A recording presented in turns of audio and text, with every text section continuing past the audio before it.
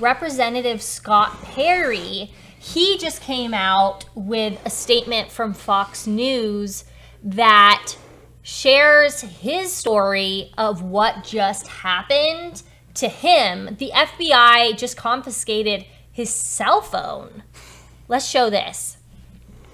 This morning, while traveling with my family, three FBI agents visited me and seized my cell phone. They have made no attempt to contact my lawyer, who would have made arrangements for them to have my phone if that was their wish.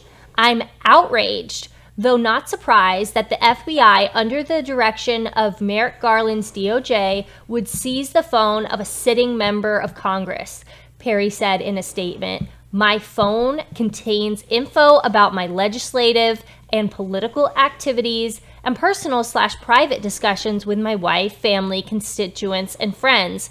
None of this is the government's business. This is a constitutional crisis yes. because you have the, the DOJ, which is a subset of the executive branch, taking private documentation. Because let's face it, everybody's private documents they're not sitting in a file cabinet in your office anymore. They're not.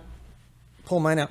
They're, they're, they're, they're right here. This is this is your private documentation. This is everything that you do on a daily basis. That's your calendar, that's your emails, that's everything for most Americans these days. So they have seized private documents from a sitting member of Congress that contain the business of the legislature.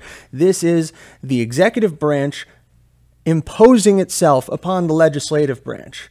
And the Constitution of the United States is broken and in ashes in a situation like this.